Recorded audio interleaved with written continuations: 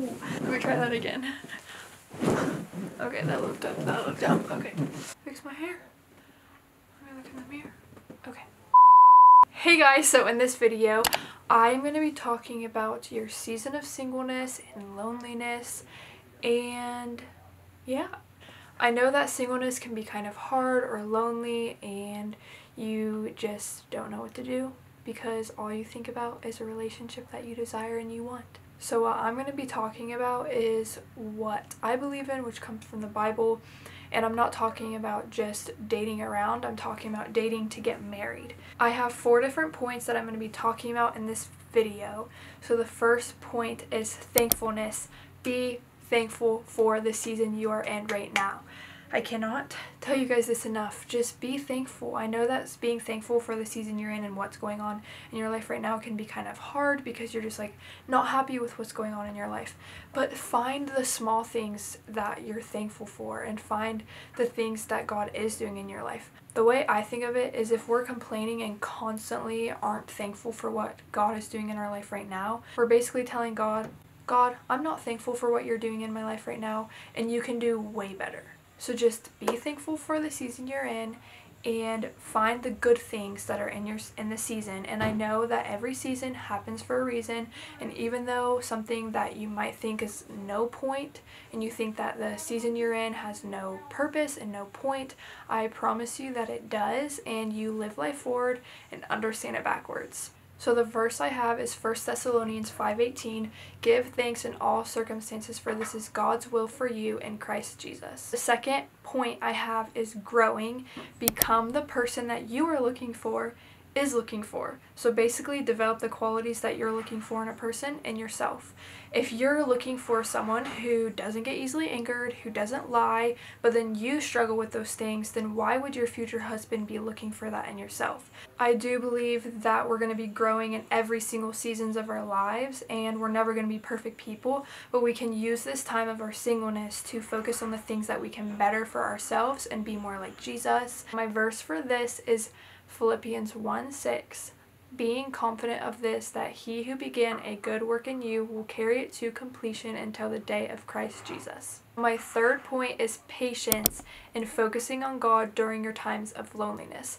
I know that sometimes when like you're just sitting in your bed and you're feeling super lonely, the thing that helps me is to spend time with Jesus, spend time with friends, spend time with family. I know that friends and family and God can really help our mind get off of being so fixed on being in a relationship. And also, if you're constantly finding yourself lonely and you just go watch romance movies or watch wedding videos or go stalk the perfect couple on Instagram, that is not going to help your desire even more more like that's to help your desire to go even higher instead of like not focusing on that if that makes sense and like I said earlier, focus on your now instead of being obsessed over the idea of being married and being in a relationship.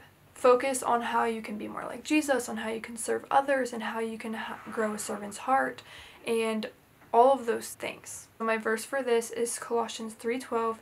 Therefore, as God's chosen people, holy and dearly loved, clothe yourselves in compassion, kindness, humility, gentleness, and patience. My fourth point is trust and to not act on the emotions of singleness and loneliness. I know that sometimes when we're feeling really lonely, we might go sign up for some dating apps or go DM a bunch of guys on Instagram or go to the club. Instead, focus on God during that time. And I also know that a relationship that God is behind will come naturally. Something that I think is really cool is think of a mountain, like a triangular mountain. You're in one corner and your future husband is in the other corner. Let's just say you guys aren't focusing on God and you're just focusing on wanting to be in a relationship.